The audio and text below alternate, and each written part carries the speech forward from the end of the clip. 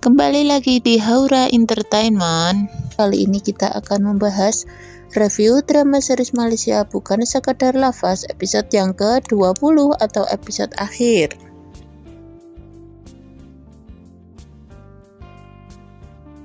Pada episode ini akan menceritakan Sikin kehilangan Papa Zaman.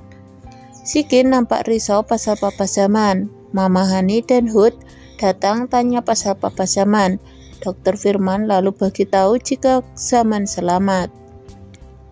In nampak sembunyi dengan Papa Rustam. Papa Rustam tak sangka In nak bunuh Zaman dekat hospital yang banyak CCTV. In takut Papa Zaman selamat dan terbongkar dia nak bunuh Papa Zaman. Polis pun datang ke rumah Sikin. Mereka bagi tahu jika ada rekaman CCTV N masuk bilik Tuan Zaman.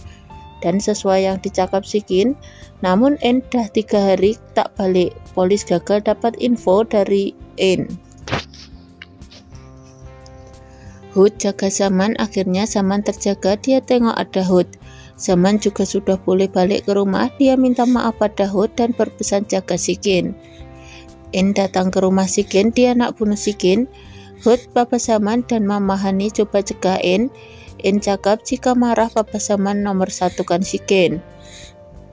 Papa Saman nak tebus kesalahannya, dia rebut pisau dan dipegang In. Namun, In melawan. In mati berebut pisau dengan Papa Saman. Rustam pun ditangkap polis sebab suspek pembunuhan dan Zaman juga ditangkap polis sebab penjualan bayi di rumah Nur. Episode ini diakhiri Sikin dan Hud nampak bahagia mereka akhirnya punya anak perempuan yang sudah besar. Dan Hani cakap jika Tuan Saman juga dinyatakan bebas dari penjara. Oke guys, cukup sekian pembahasan kali ini. Terima kasih sudah menonton video ini. Jangan sampai ketinggalan update selanjutnya. Jangan lupa di like, comment, share, dan subscribe. Wassalamualaikum warahmatullahi wabarakatuh.